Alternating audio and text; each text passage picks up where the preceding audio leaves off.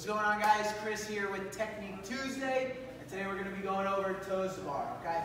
So on the toe to bar guys, it's important to make sure you hit solid arch position and pull through your lower abs and your hip flexors to bring your toe to the bar, okay?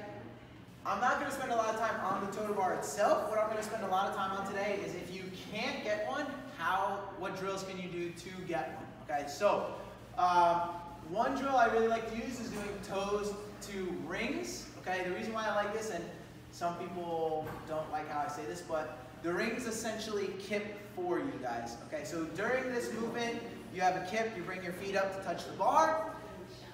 I find with me, in contrast to maybe some other movements like a muscle up or maybe like a butterfly chest bar pull up, where someone has the prerequisite strength but maybe doesn't have the skill necessary to do the movement.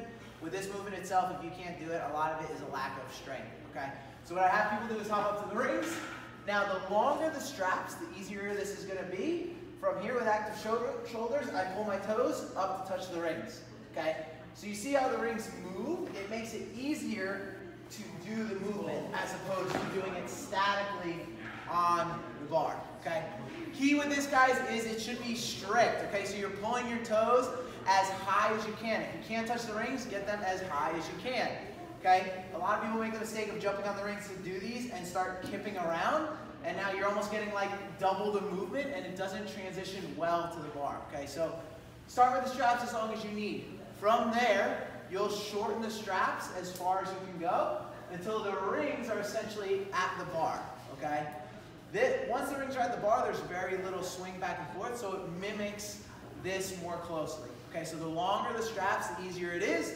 The shorter the straps, the closer to the bar it's gonna be like, okay? So that's one drill I do. The other thing I like to do, come on over here to help build that lower abdominal and hip, flex, and hip flexor strength to do toes to bar, is I'll set up a bench in an incline position, okay?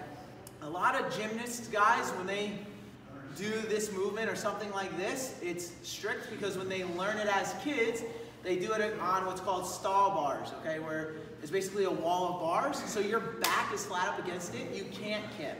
So your lower abs and hip flexors have to get strong enough to pull it up. For a lot of us normal people that don't have a gymnastics background and get into CrossFit, we just start flailing around on the bar and hope that our toes get up there. So what I try to do with the move with this is mimic that, those stall bars. Okay, so my back is glued, my hands are on the bar, I pull through my lower abs until my toes come up and touch the bar.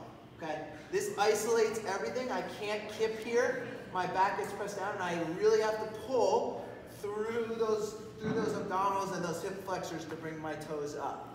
Okay, so if you're someone who can't do toes to bar or string toes to bar together well, give those two drills a try and see how they improve.